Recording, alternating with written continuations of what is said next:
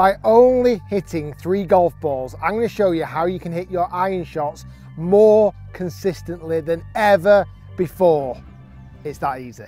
Number one, ball position. It's the thing that a lot of players completely neglect.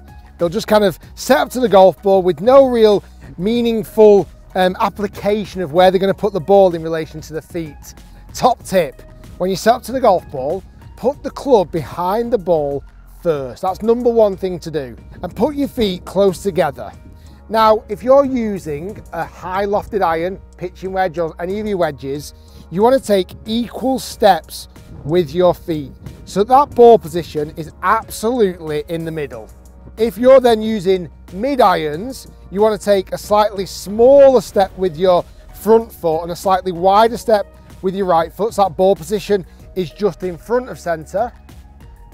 And then finally, if you're hitting long irons, an even smaller step with your left foot, slightly wider with your right, so that ball position is even further front of center.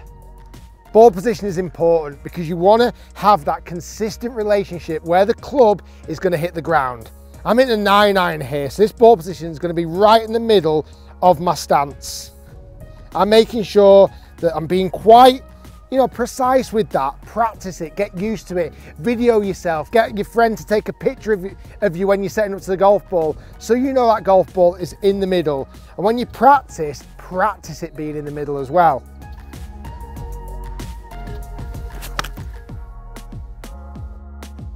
Number two, distance away from the golf ball. Again, this is where if you are inconsistent, sometimes you might be stood really close to the golf ball, other times you might be stood too far away.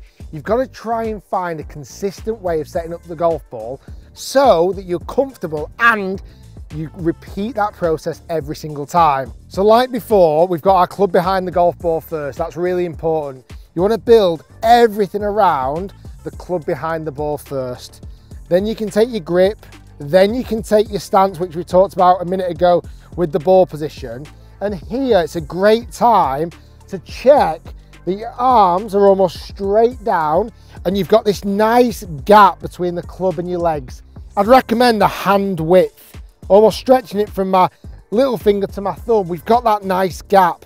If we get too close, you've got to make an adjustment. I'm way too close to the golf ball there and I'm, end up, I'm going to end up hitting the wrong part of the club. If I'm stood too far away, like all the way over here, I've got this massive gap now. Again, to hit that golf ball in the middle is going to be very hard, and to repeat this all the time is going to be near impossible. Club behind the ball first, feet together, take your stance, and you're looking for your arms to drop naturally from your shoulders, so they're almost pointing straight down.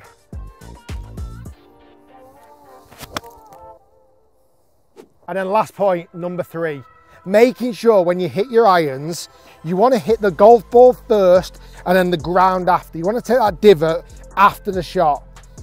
I would say the most inconsistent movement of a golfer is when they come to hit their irons, the body, almost the middle of the body here, starts to move backwards. And as soon as you start moving backwards, you're going to hit the ground. And even if you don't hit the ground, you're going to end up thinning the shot. I want you to practice this and make get really good at this. As you're coming into the golf ball, make sure the middle of your body is moving around your front foot, around your left foot. Have that motion of your body moving toward the target as your hips twist towards the target. That way, you're gonna hit the ball first and then the divot after. So unbelievably important, like ridiculously important this. You watch all the best players in the world, they'll all have different swings, all have funky motions, but they will not lean back as they hit an iron shot, I promise you. So make sure your weight's moving to the left so that you hit the ball first and then that ground afterwards.